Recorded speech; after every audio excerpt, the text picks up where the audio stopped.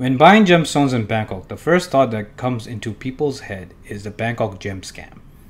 If you search on Google or YouTube, you'll find multiple videos on this topic with over a million views and is definitely a serious problem for tourists that come in Thailand.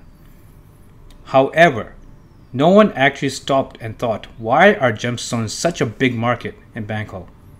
And it's considered one of the world's most important gemstone hubs. This is what I would like to discuss in today's video. Why should one buy gemstones in Bangkok? First, it is the largest gemstone market in the world. Bangkok is known for trading all types of gemstones. This includes rubies, sapphires, tourmaline, garnets, peridot, spinel, topaz, and jade, and etc. Many, many stones. Due to this, all the major dealers have their offices located here locally in Bangkok. Bangkok is also renowned for its expertise in cutting, polishing, and treating gemstones. Thai craftsmen are considered the best cutters in the world. They have learned how to cut in pure pre- precision due to their proximity to Burma. Because Burma is such a source for gemstones, and getting it here in Thailand, they've learned expertise in cutting rubies and sapphires and jade. They were also one of the major source for expensive colored gemstones like rubies, sapphires. Due to these factors, it is one of the globe's major gemstone trading source, which makes means they have a lot of experience. It is actually even cheaper to buy gemstones in Thailand than in source countries. At first, this might sound counterintuitive. Why will it be cheaper to buy a gemstone in Thailand when it doesn't even source any of these stones anymore? A better way to understand this is by comparing another industry which all we all know about very well, like buying an iPhone or any major mobile device. The cheapest place in the world where you could buy these items is the United States and not the source countries in where these phones are produced. Why is this? The reason is the most largest and most liquid and most competitive place where these devices are purchased are in the United States. It's a major source where suppliers and buyers meet, so they have to be competitive in price or no consumer will buy. The same can be said for buying gemstones in Bangkok as well. Now, what is the negative factors when we consider buying gemstones here?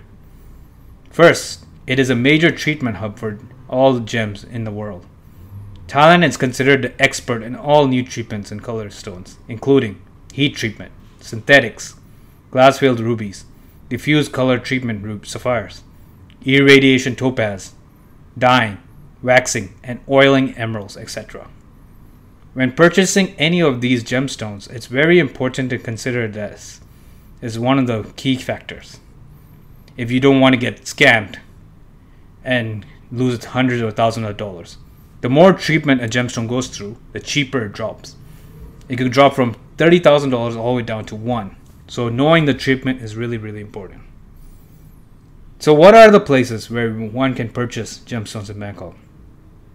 The area where gemstones are sold are at the end of Silom Road or Surawong. And this is considered the gems district of Bangkok. The major buildings that are here are filled with dealers, and they are located either in Jewelry Trade Center, or called JTC, uh, other buildings in Mahesak, or where our office was originally located in the 80s and 90s. Suri Road also has a couple buildings, like Executive House, Bangkok Gem and Jewelry Building. Gem Tower also is on Charoen Krung Road, and other major as, a, as also a major ma- building with gem dealers. We are located in State Tower, which is also in the same area. Wat Ko is also a traditionally where you find synthetic or cheaper gemstones. That market is not so big anymore as most of the dealers have now moved down to JTC. Gemstones are also cut and manufactured outside Bangkok in Chanthaburi. This is where the original source of Thai rubies and sapphires were mined and produced. The mines are, have been exhausted there since the late 1980s or early 1990s. The cutter, the cutters or treater, treaters there in Chanthaburi are experts in treating low quality rubies, sapphires, and other low quality gems and they make them look spectacular. A very unattractive stone, they'll make it look like it's amazing color and color clarity. The t- treatments which they do includes chemically diffusion, glass filled, irradiation.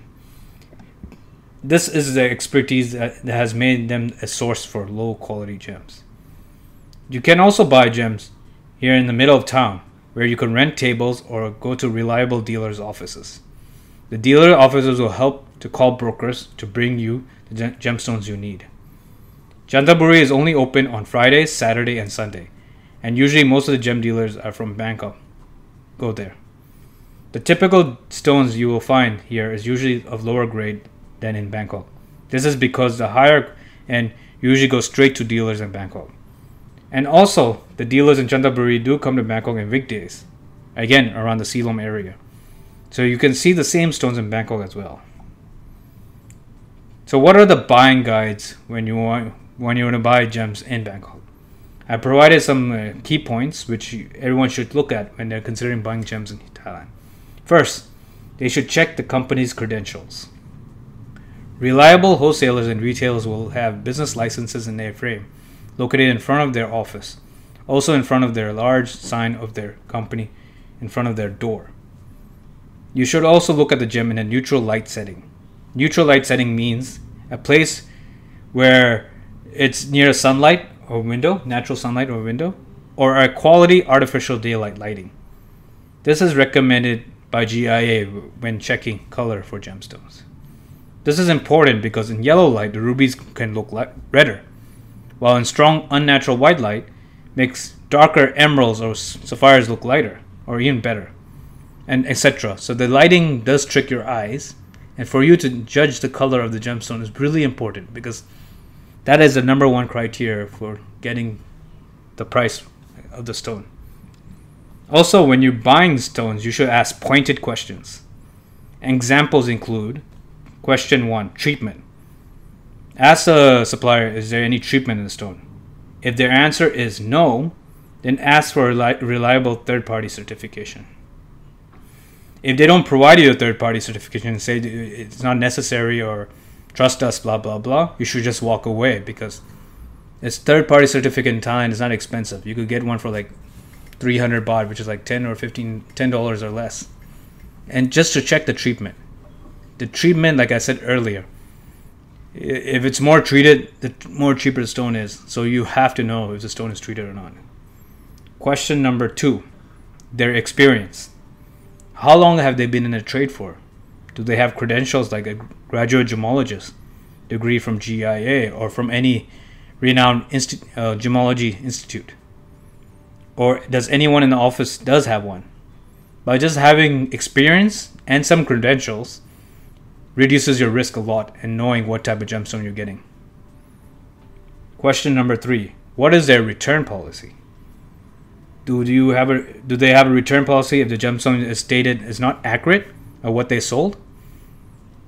If they say no, that you cannot return a gemstone even though you when you check somewhere else and it's stated differently than what they've sold, just walk away. I mean, it's not necessary yet to buy. Again, without trust in our business, you should not deal with anyone. You shouldn't know what you're buying, and also if they're confident in what they're selling is true, they should be able to take it back if it's not true. And finally, question number four third party certification. If you you're I am interested in buying this stone, but it is currently not certified. Can you get it certified? If they again they say no, just walk away immediately. Again, like I said, you could get a quick quick certification in within one day for 300 to 500 baht, which is definitely worth it more than getting scammed.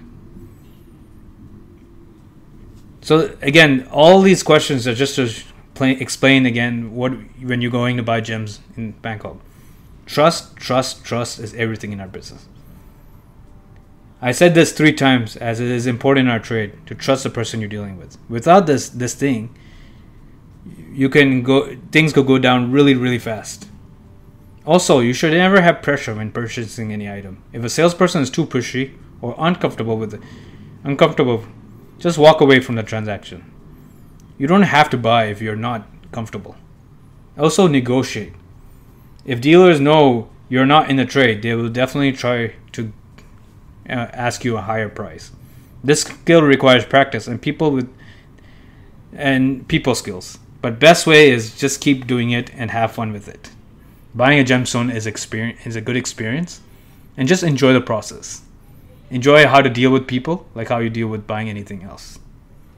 Anyways, I hope you found this video useful and do feel free to provide your questions and comments below this video. Please also don't forget to subscribe to our channel.